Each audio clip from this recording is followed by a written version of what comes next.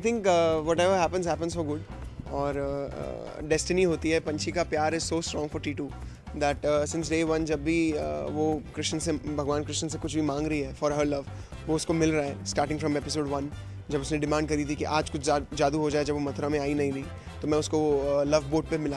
So that was an indication haldi पे किस तरह से मैं बिकॉज़ शी हैड विश्ड कि वो मेरी हल्दी पे टीटू आए और टीटू सोता हुआ वहाँ पे पहुँच गया। So I think it was destined to for Titu to marry Panchhi.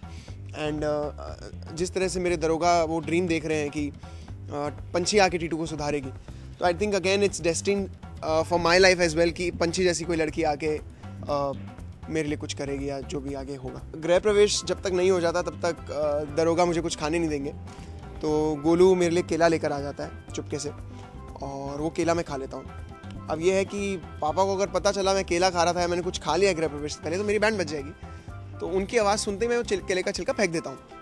अब वो जहाँ मैं फेंकता हूँ, वहाँ पंची स्लिप कर जाती है। नहीं बिकॉज़ मेरे, नहीं नहीं नहीं नहीं, मेरे को नहीं पता है कि वो मेरे केले के छिलके पे स्लिप हुई है। I have no idea that because मैंने केले का छिलका फेंका, इसलिए वो स्लिप हो गई।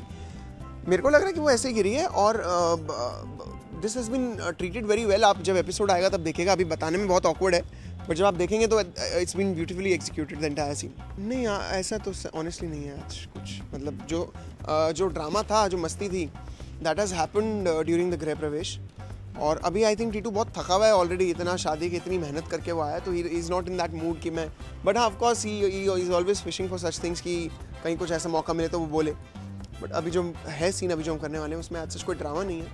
इनफैक्ट थोड़ा सा चेंज ओवर ज़रूर है सबके लिए कि बहू आ गई है और माहौल सेट है एंड गोविंदा रायन दरोगा इज़ हैप्पी कि सब ठीक ठाक हो रहा है।